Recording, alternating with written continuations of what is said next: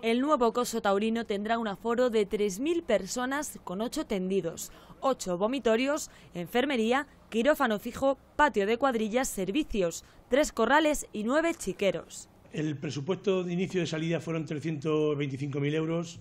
Al final yo creo que va a rondar los 400.000, pero no porque la, obra se haya ido en el, en el presupuesto, sino porque se han remodelado también parte de los corrales de la Plaza de Toros que se van a techar, se ha hecho un aparcamiento nuevo, un patio de cuadrillas que estaba incluido y luego, bueno, pues ya según ha ido avanzando la obra, se han hecho algunas cosas más.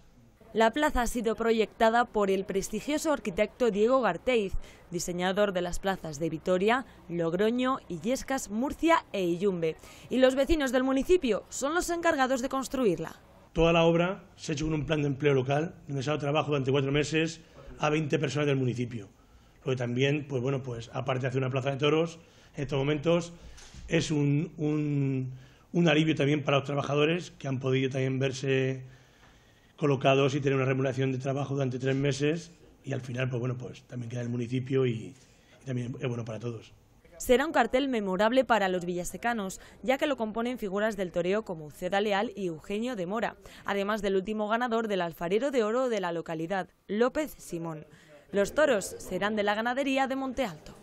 Me encanta eh, tener el honor, la satisfacción de matar el primer toro que se vaya a lidiar en, la plaza nueva de Villaseca. Y, y, bueno, pues yo creo que el cartel es precioso. Eh, que se inaugure una plaza de toros es algo extraordinario y bueno, pues yo estoy contentísimo de estar hoy aquí, de estar en el cartel. Es una satisfacción muy grande. Eh, además, yo prácticamente me considero casi de, aquí, de Villaseca, ¿no? Yo soy de aquí, de la tierra, de Toledo.